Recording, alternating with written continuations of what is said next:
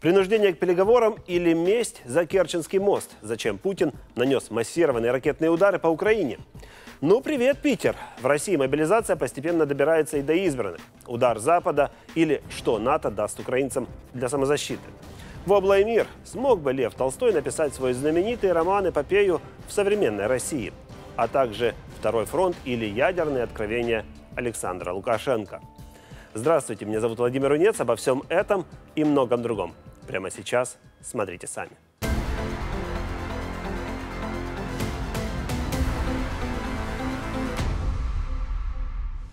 Итак, утром 10 октября украинцы проснулись от свиста российских ракет и дронов «Камикадзе».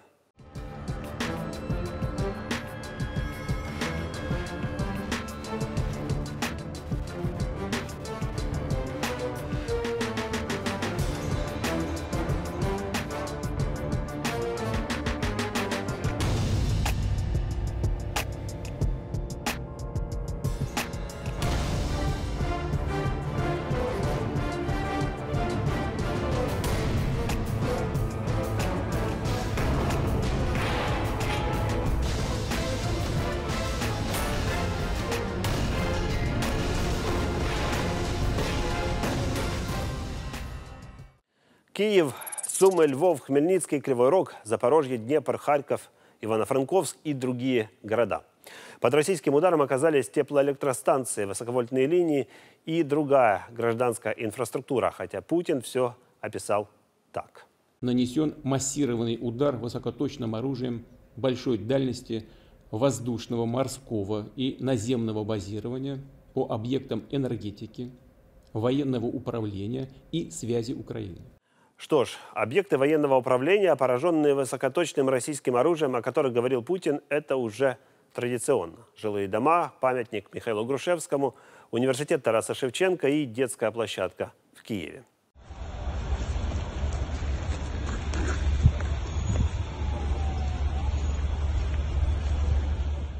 Да, действительно, критическую инфраструктуру Украины российские ракеты повредили.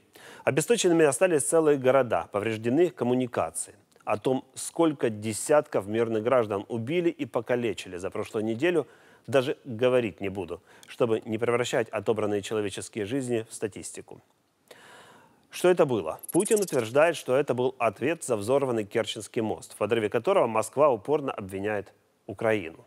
Заказчики, организаторы исполнители теракта – это украинские спецслужбы.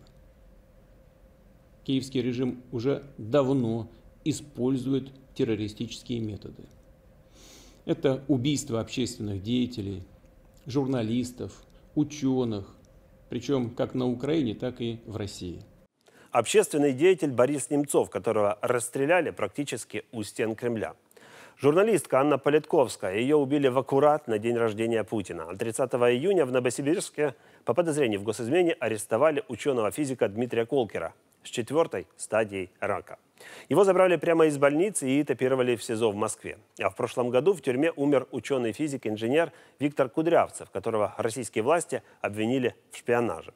Список подозрительных смертей и убийств в России не влезет ни в одну программу. О чем говорит Путин? Уж не о себе ли? Ну, поводы для нападения на Украину он и раньше прекрасно придумывал. От якобы защиты русскоязычного населения до того, что украинского народа и страны Украина вообще не существует как таковых. Ну а расследование подрыва Керченского моста проходит в лучших традициях российских силовых структур.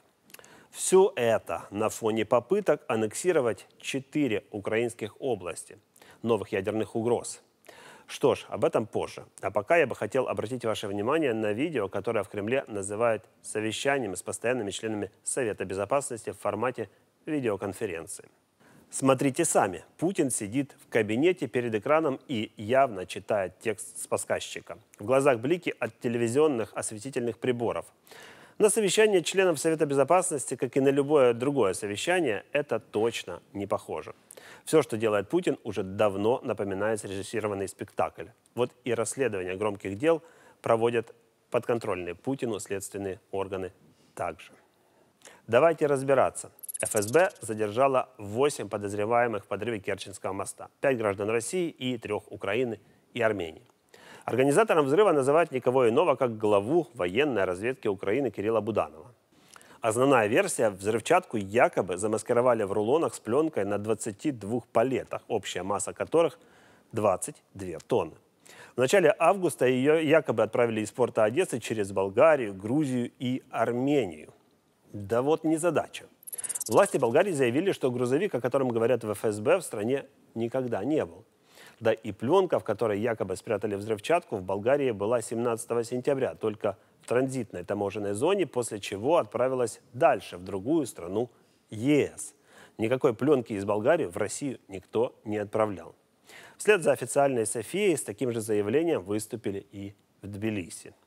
ФСБ даже опубликовала фото, которое выдало за фото рентгеновского досмотра грузовика. На нем в кузове видны черные предметы. Однако эксперты подчеркивают, что рентгеновский снимок на самом деле показывает совсем другой грузовик.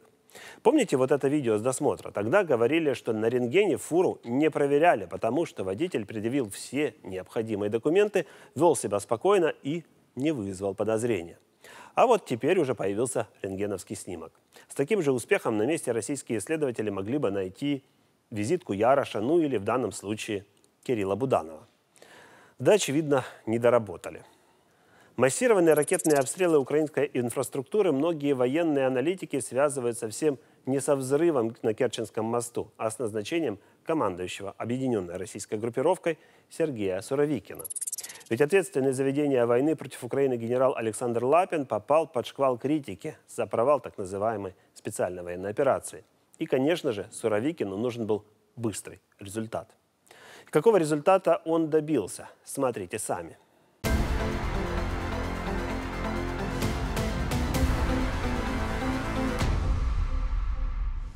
12 октября, то есть через два дня после ракетных ударов по Украине, в Брюсселе в штаб-квартире НАТО состоялась встреча министров обороны стран военного блока. А параллельно провели и шестую встречу в формате «Рамштайн» по инициативе американцев. Конечно, там был и министр обороны Украины Алексей Резников. Конечно, западные партнеры Киева не промолчали и назвали ракетные удары по мирным объектам Украины подлыми и вероломными. Но ну, одно дело официальное заявление, а совсем другое, как все это выглядит на месте. Поэтому я отправился в Брюссель, в штаб-квартиру НАТО, чтобы понять, насколько в военном блоке готовы поддерживать Украину и дальше, или не готовы. Что же мне удалось выяснить? Расскажу обо всем по порядку. Украина – центральная тема встречи министров обороны. Об этом говорилось не только в официальной программе, но и самое главное в кулуарах. Каждый, с кем мне удалось поговорить, называл российские ракетные обстрелы подлыми и безжалостными. Условную тему помощи Украине можно разделить на три блока. Закрыть небо, чтобы кровавый понедельник Путина больше никогда не повторился. Противодействие ядерным угрозам российского президента, которые все чаще звучат из Кремля. И военная помощь Украине в долгосрочной перспективе. Давайте начнем с ядерных угроз. Перед началом встречи министров генсек НАТО Йен Столтенберг вышел к журналистам со вступительным словом, после чего я у него спросил, каким же будет ответ НАТО в случае, если Россия все же нанесет ядерный удар где-либо. И вот что он мне тогда ответил. Смотрите сами. НАТО – оборонный блок. НАТО существует для того, чтобы предотвратить войну. Именно поэтому мы усилили наши сдерживающие меры, чтобы послать России четкий сигнал, что мы есть и будем защищать и оборонять всех своих союзников. Конечно, мы слышали предложение о том, что Россия может использовать малое ядерное оружие в Украине, и мы ясно донесли до России, что для нее это будет иметь тяжелые последствия. Россия знает, что в ядерной войне не может быть победителей, поэтому ее нельзя начинать. Мы тщательно следим за размещением российского ядерного оружия. Пока мы не видели перемещений ядерного оружия России, но мы будем и дальше бдительны, мы продолжим тщательно наблюдать, так как ядерные угрозы, ядерная риторика и скрытый ядерный шантаж России опасен и безрассуден.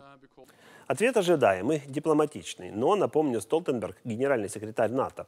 Он говорит публично только то, что уже согласовано со всеми 30 членами военного блока. Все решения принимаются только единогласно. О каких последствиях идет речь? Может, это означает, что последствия от ядерного удара настолько непредсказуемы, что могут повредить и самой России?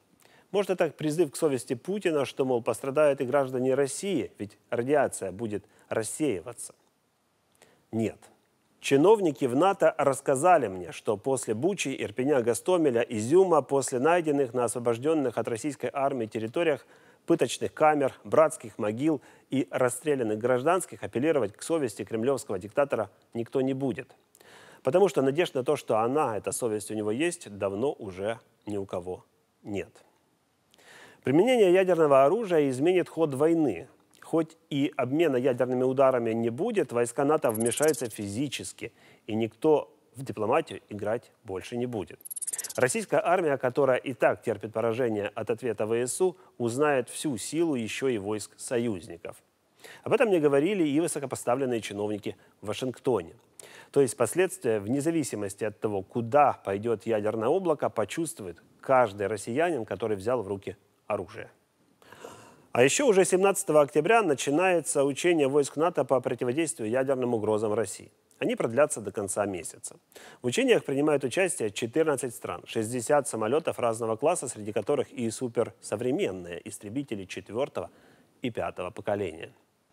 Это регулярные ежегодные учения. В НАТО говорят, что они никак не связаны с событиями в мире – но очевидно, что блоки очень серьезно относятся к тому, что мировой порядок может быть нарушен навсегда из-за ядерных амбиций одного человека.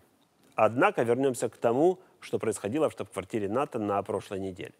Закрыть небо над Украиной – приоритет номер один. Об этом говорили все без исключения представители делегации. И этот вопрос стал ключевым и на встрече в формате «Рамштайн», инициатором которого выступают Соединенные Штаты. Глава Объединенного комитета начальников штабов, американский генерал Марк Милли, заявил, что союзники будут работать над тем, чтобы создать в Украине интегрированную систему воздушной обороны, способную защитить граждан страны как от авиационных, так и от ракетных ударов России – что просит Украина и что нам кажется, мы можем предоставить. Это интегрированная воздушная и противоракетная оборонная система. Она не закроет все небо над Украиной. Она разработана, чтобы контролировать приоритетные объекты, которые Украине необходимо защитить. Это и системы малой дальности и малой высоты, средней дальности и высоты, а также высокой дальности и высоты. Эта система поможет закрыть доступ российской авиации в воздушном пространстве Украины Украины, а также защитить от баллистических и крылатых ракет. Вот что мы сейчас пытаемся создать. Пытаемся построить такую оборонную систему. Это очень важная информация. Конечно, в идеальном мире хотелось бы, чтобы население страны было в безопасности и люди не проводили ночи в бомбоубежищах. Но защитить критически важную инфраструктуру – это уже большой шаг. Ведь россияне разрушают электросети и тепловые станции. Там бы и котельные. Структура этой новой воздушной обороны будет состоять из разных систем, представленных разными государствами. Некоторые на вооружении уже давно, а некоторые абсолютно новые. Таких пока нет даже в более богатых странах. Но когда? Когда же Украина сможет получить новую ПВО? Этот вопрос я задал министру обороны США Ллойду Остину. Thank you for this opportunity. Uh, I'm one of those who Спасибо за возможность задать вопрос. Я один из тех, кто еще в этот понедельник не знал, смогу ли быть здесь из-за ударов с воздуха по Киеву. И вопрос, который я задам, не мой. Это вопрос, который вам бы хотел задать украинский народ. Когда они снова смогут спать спокойно и не переживать за то, что оставили свои семьи дома. Потому что я, например, здесь, в Брюсселе, очень переживаю, что происходит с моей семьей дома в Киеве, когда эти системы попадут в Украину, и есть ли шанс, что небо будет защищено.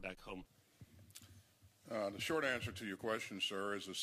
Короткий ответ на ваш вопрос, сэр. Системы будут предоставлены как можно быстрее, как только мы сможем физически их туда доставить. Uh, как я uh, говорил ранее, именно на этом мы будем сосредоточены. Мы передадим системы, которые уже есть у нас в наличии, в наличии у таких стран, как, например, Германия.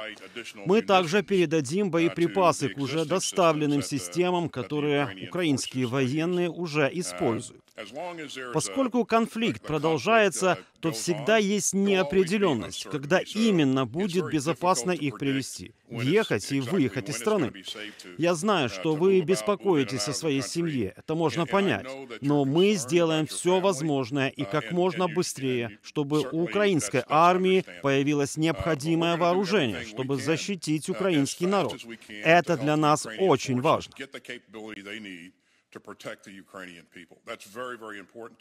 Уже на следующее утро детали договоренности в рамках шестого Рамштайна раскрывает украинский министр обороны Алексей Резников. Судя по всему, глава военного ведомства остался доволен договоренностями. Сигнал від американської. Сигнал от американской стороны прозвучал, что нужно максимально быстро усилить ПВО Украины. Не только «Насамсы», не только «Ирисы», которые, вы знаете, уже всем известны Різного рівня, різних щаблів. разного уровня. Я думаю, буквально в ближайшие недели мы будем понимать, что это сработает. Когда мы уже услышим, что да, определенные страны берут на себя определенные обязательства, тогда мы сделаем это публично. То ми зробимо це публічно. Я дуже щасливий. Я очень счастлив, что очередная наша идея сработала, как и предыдущие наши идеи. Дайте нам стингеры. Вы знаете, что сначала нет, потом да. Дайте нам МЛРсы и Хаймерсы. Сначала нет, потом да. нам, наприклад, антирадарні ракети. м, Дайте нам які противорадарные взагалі ракеты, Україні а они не говорят, это вообще нереально, F-15, ведь они с F-16, Скажем так, мы F-15, а мы придумаем, говорим, спускать так мы с придумаем, как их МиГ-29 пускать с и МиГ-29, таки и в итоге да. А дайте нам гарпуни, так у вас нема Дайте нам наземних гарпуны, пускових. так Ну, у вас нет наземных теперь пусковых, так, и в вони итоге є, да, з'явилися. они появились. Тобто таких Такие рішень инновационные ми решения мы принимаем а общими спільними усилиями. зусиллями ми от досягаємо Но оружие – это не единственный компонент на пути к победе Украины в войне против российской агрессии. 30 сентября, после того, как Путин подписал указ об аннексии новых украинских территорий, Киев подал заявку на членство в НАТО по ускоренной процедуре. Справедливости ради нужно сказать, что несмотря на всю критику НАТО, на данный момент это самый эффективный военный блок. Сравните его, к примеру, с тем же ОДКБ, где Россия пытается отвести себе главенствующую роль. Но когда в ОДКБ за помощью обратилась, например, Армения, все закончилось формальной отпиской. Мы не можем сказать, что организация реагировала так, как, э, как бы, э, как ожидала Республика Армения. Так вот, НАТО и амбиции Украины. Тогда, в конце сентября, звучало много скептических комментариев по поводу перспектив для Киева. Но уже в течение нескольких дней десяток стран выразили поддержку этой идеи. На этой же встрече министров обороны высказывание про открытые двери сменилось совершенно другой риторикой. Дискусія вже розпочала. Це демократичні країни. демократичні Дискуссия уже країни. началась. Это Відповідно, демократические наша страны заявка, демократического мира. підлягає Соответственно, обговоренню. наша заявка подлежит Сьогодні, обсуждению. зараз, е, Понятно, але что не сегодня и не дискусія сейчас, но триває. дискуссия уже идет. И звучат разные Але в аргументы. кулуарах ще цікавіше. І в кулуарах мені дуже було приємно слухати. Но в кулуарах еще интереснее. В кулуарах мне очень было приятно слушать министров. Они говорят, если мы понимаем, что на мадридском саммите определенно, что главной угрозой стран НАТО является Россия, это прямо записано в их заявлении. А сегодня Украина демонстрирует всему миру, что у нее наилучший опыт противостояния российской армии, сдерживать ее и побеждать, то какие еще нужны аргументы по поводу Ще принятия додаткові ее в треба НАТО? Завершилась двухдневная встреча министров обороны стран НАТО под звуки демонстрации у стен штаб-квартиры организации. Несколько сотен украинцев пришли туда, чтобы еще раз напомнить, что у них дома идет неспровоцированная кровавая война.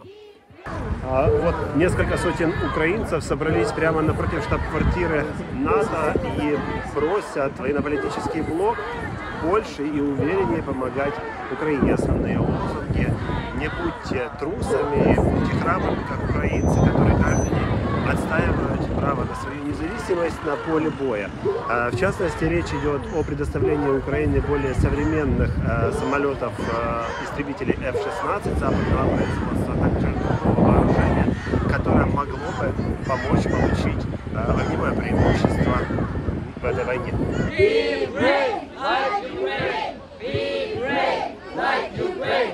И в завершение темы. Важно то, что на этой встрече министров присутствовали и главы военных ведомств Финляндии и Швеции. Их присутствие дало им намного большие возможности в процессе принятия решений. Напомню, что до широкомасштабной войны России против Украины ни Стокгольм, ни Хельсинки североатлантических амбиций не имели.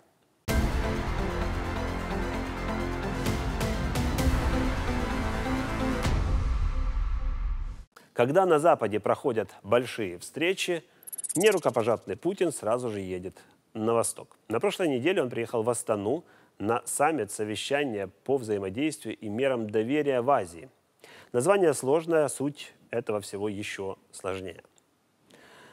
Ну как сразу же едет? С этим есть нюансы. Давайте рассмотрим все в деталях. Начну с того, что Казахстан не зона комфорта для российского президента.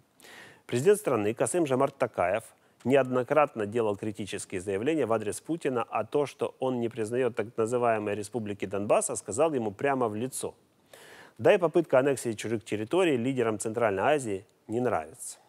Ведь заявление о том, что с их странами может случиться то же самое, они слышали из Кремля уже неоднократно. Кроме того, все они принимают уклонистов из России и, похоже, не собираются их выдавать. А еще вспомните, как трудовым мигрантам азиатского происхождения относятся в России. Ксенофобия на всех уровнях, от правительственных органов до бытовой ненависти. Думаю, мне не стоит напоминать о количестве анекдотов об азиатах и даже популярные телешоу. Так вот, в Астану Путин, очевидно, ехал с большими надеждами и традиционно с большим опозданием. Путина ждали – приезду Путина готовились. В небе кружили вертолеты, на улицах поставили бронетехнику, а полиция патрулировала город в усиленном режиме. Саммит с участием российского президента должен был начать свою работу 12 октября. Но из самолета вечером вышел только министр иностранных дел России Сергей Лавров. Сам же Путин появился на следующее утро. Не всех в Астане встречали одинаково. Первым прилетел эмир Катара шейх Тамим бин Хамад Аль-Тани – на следующий день президент Турции Реджеп Таип Эрдоган. Обоих встречал лично Такаев. О том, что приезд Альтани и Эрдогана для Такаева важен, было, можно сказать, и потому, как он их встречал. Почетный караул. Масса сообщений в местной прессе. Остальные делегаты такой чести не удостоились. И Путина президент Казахстана не встречал. Кремлевский лидер появился на саммите уже 13 утром, и уже в самом начале мероприятия стало понятно, что тут ему рады далеко не все.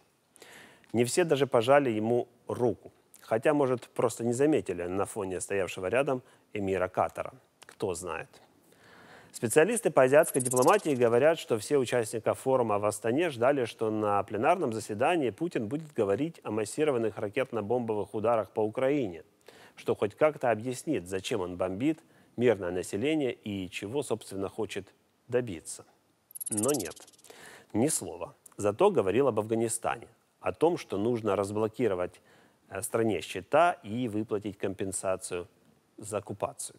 На наших южных рубежах действительно тлеет очаг напряженности, чреватый потоками беженцев, террористическими угрозами и распространением экстремистской идеологии. При этом западные, прежде всего американские, британские спецслужбы подпитывают противостоящие талибам формирования, нацеливая их на обстрелы приграничья некоторых наших стран. Мы осознаем связанные с этим риски и угрозы, и поэтому поддерживаем необходимый уровень контактов с руководством движения талибов. Кто жил во времена СССР, тот помнит словосочетание «интернациональный долг». Советские войска вторглись в Афганистан в 1979 году. А перед этим Москва наложила вето на решение Совбеза ООН, осуждающую военную интервенцию. Ничего не напоминает? Да, уже независимая Россия ведет себя точно так же. Под предлогом защиты определенных этнических групп она напала на Грузию в 2008 и на Украину в 2014. А теперь Путин рассказывает о выплате компенсаций за оккупацию в Афганистане. Кстати, Талибан, с которым российский президент, цитирую его же, поддерживает необходимый уровень контакта, до сих пор признан в России террористической организацией. Ну а тему Украины публично поднял только Эрдоган. Турецкий президент заявил, что боевые действия в регионе несут опасность. Да, Эрдогану не нравится все, что происходит за Черным морем. Он выступает за возврат Крыма Украине, да и ядерные угрозы Путина его явно напрягают. Но к этому я еще вернусь. А пока расскажу, что для проведения двусторонних встреч в Астане Путину выделили отдельное большое помещение с большим столом. Там он, в частности, встречался и с Эрдоганом, который заставил себя ждать. А Путин в это время нервничал, перечитывал свою речь и облизывал пальцы. Не верите? Смотрите сами.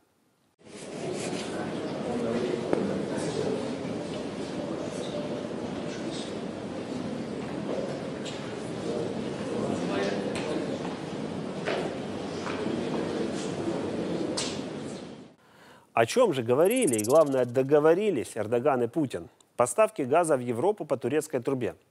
В российских СМИ гордо рассказали о том, что Турция становится международным газовым хабом. Однако кто в итоге выиграл от этой сделки? Северные потоки сейчас непригодны для транспортировки голубого топлива. То есть турецкий поток и голубой поток вполне могли бы нарастить объемы транспортировки. Но всегда есть «но». У Москвы просто нет необходимых судов-трубоукладчиков. Те два, которые задействованы в ремонте северных потоков, не смогут работать на солидных глубинах Черного моря. А новый построить, не имея западных технологий, Россия пока не способна. Санкции работают. А еще нужно учитывать, что Европа сосредоточила значительные усилия на том, чтобы свести к минимуму потребление российского газа, который Кремль превратил в оружие – а в итоге и вовсе, наверное, от него отказаться. Газотранспортная система Южной Европы практически не связана с системой северной части континента. На юге основной потребитель – Италия. Но и она думает, как получать газ не из России, а, например, из Северной Африки. То есть строительство нового газопровода влетит в Россию в копеечку, а точнее в миллиардов 30 долларов. Несколько лет усилий и может в итоге не принести никакого дохода. А еще есть Азербайджан, который уже готов увеличить поставки газа в Европу. Причем договориться с Эрдоганом как посредником можно о чем угодно. Но это же не значит, что потенциальный конечный потребитель согласится что-либо покупать.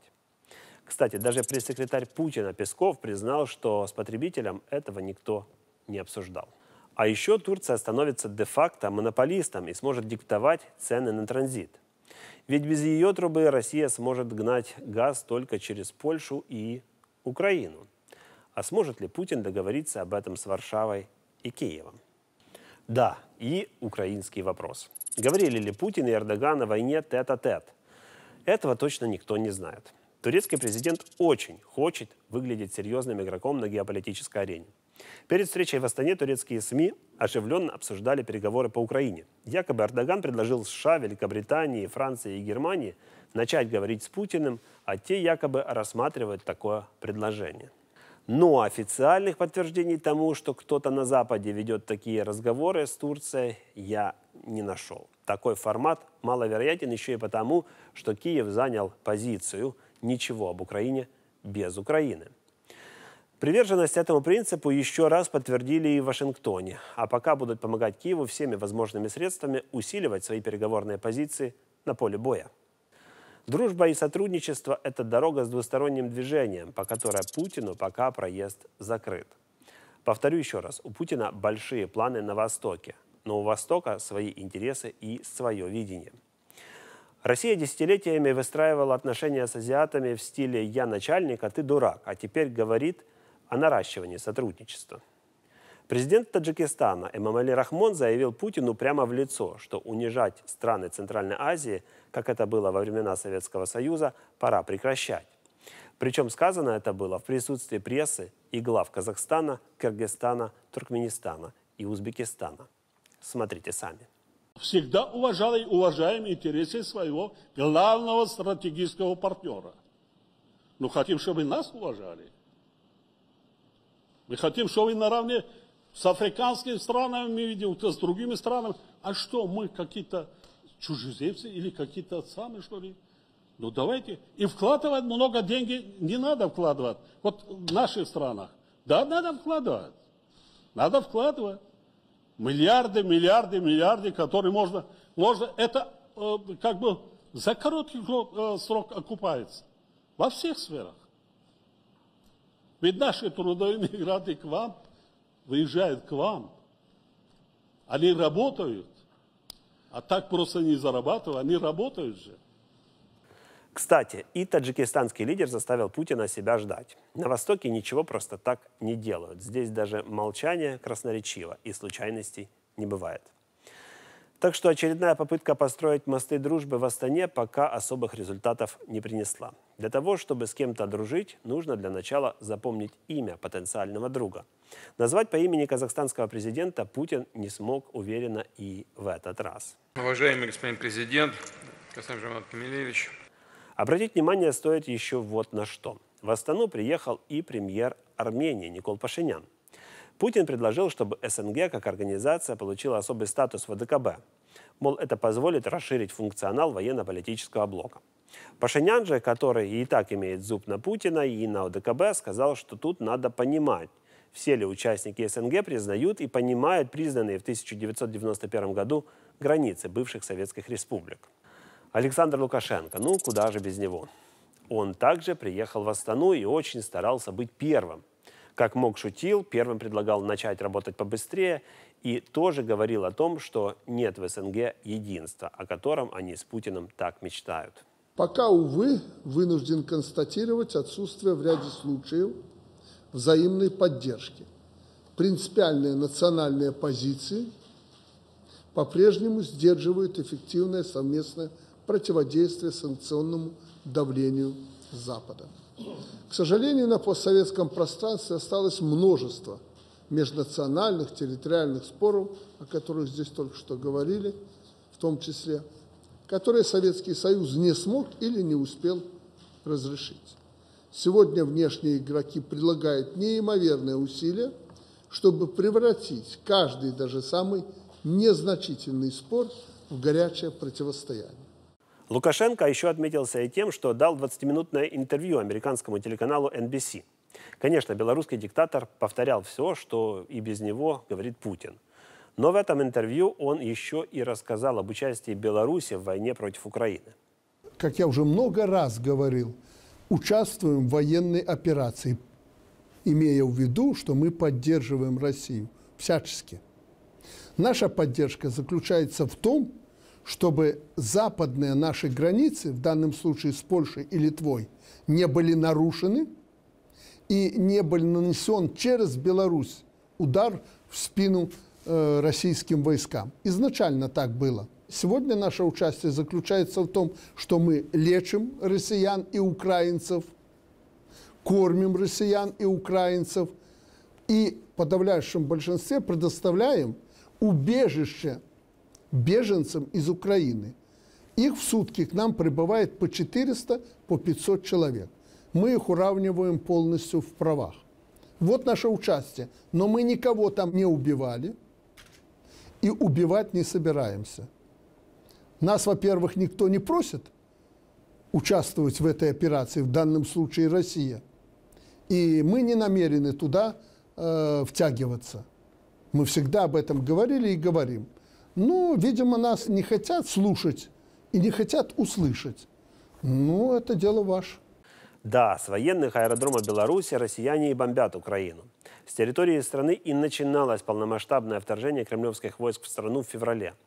На белорусских полигонах оно же и готовилось. Ну и через Беларусь силой вывозят украинских граждан с оккупированных территорий. Очевидно, это и имел в виду Лукашенко под «кормим и лечим». Ну и количество, в кавычках, спасенных вы тоже слышали. Сейчас массово и силой вывозят людей из оккупированной Херсонской области. А еще Лукашенко в очередной раз ретранслировал ядерные угрозы России. Мол, если нужно будет, то и кнопку нажмут. А так точно нет. Ядерной войны Путин, мол, не хочет. Лукашенко врет, потому что ни на Россию, ни на Беларусь никто не нападал. Война идет на территории Украины, и защищаться ее суверенное право гарантировано статьей 51 Устава Организации Объединенных Наций. Ядерного оружия у Украины нет. Соответственно, она не представляет ядерной угрозы ни для России, ни тем более для Беларуси. Поэтому зачем вообще делать такие заявления, если не ради угроз?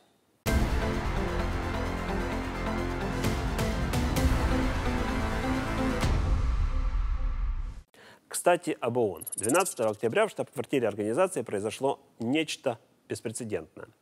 Во время заседания Генеральной Ассамблеи Россию осудили подавляющее большинство стран. Аннексию украинских территорий не признали 143 государства. Против такой резолюции проголосовали только пять стран, одна из которых – Россия. А еще, конечно же, Беларусь, Северная Корея, Никарагуа и Сирия. Лавров был настолько зол, что назвал голосование дипломатическим террором и шантажом. Москва хоть и нивелирует все решения ООН на Совете Безопасности при помощи своего права вето, но при этом очень серьезно воспринимает все, что там происходит. Такое решение хоть и носит лишь символический характер, но замылить глаза даже при помощи такой мощной пропаганды, как в России, в данном случае невозможно. Воздержались в этом голосовании только 35 стран, которые в значительной степени зависят от России. Но при этом они воздержались, они проголосовали против. Даже резолюция против вторжения российских войск в Украину набрала на два голоса меньше. А вторжение СССР в Афганистан, о котором я говорил раньше, осудили только 104 страны. А тем временем Путин анонсирует скорое завершение мобилизации в России.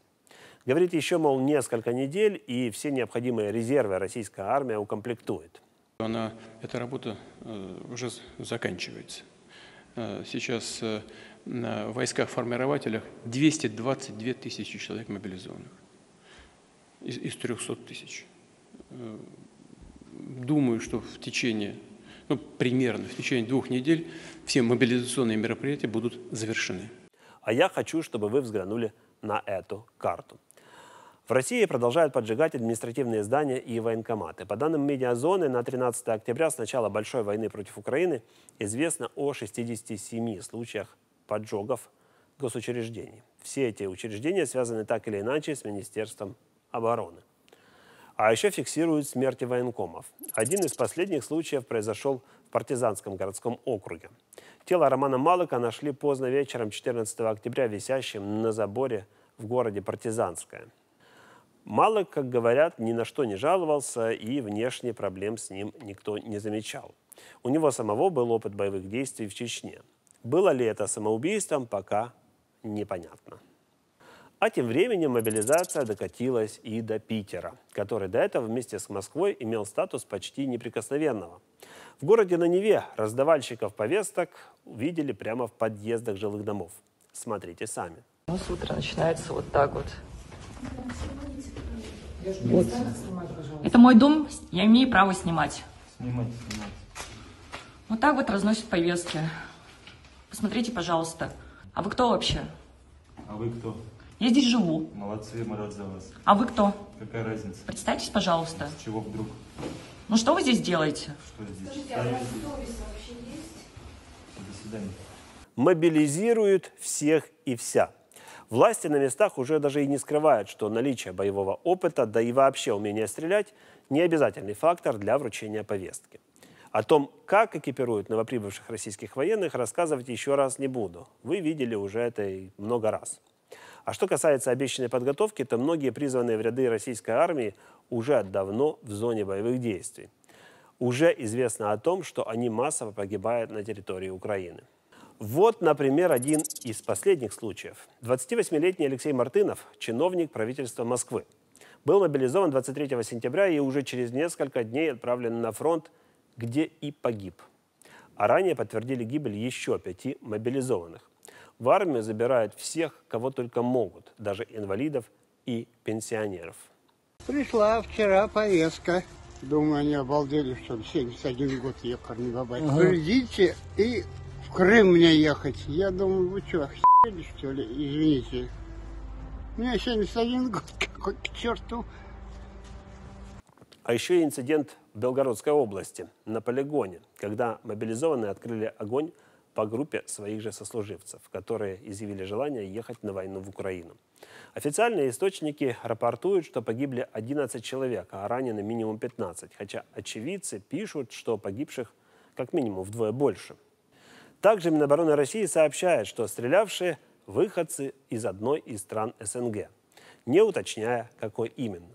В то время как одни российские телеграм-каналы сообщают, что это якобы выходцы из Таджикистана, а другие, ссылаясь на очевидцев, говорят, что стрелявшие из разных регионов самой России.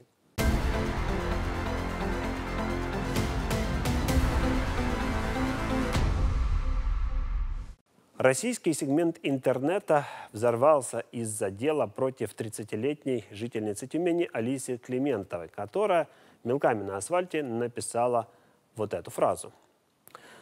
Ее тут же задержали сотрудники полиции, мелки отобрали, а далее женщина попала в суд по статье о дискредитации российской армии.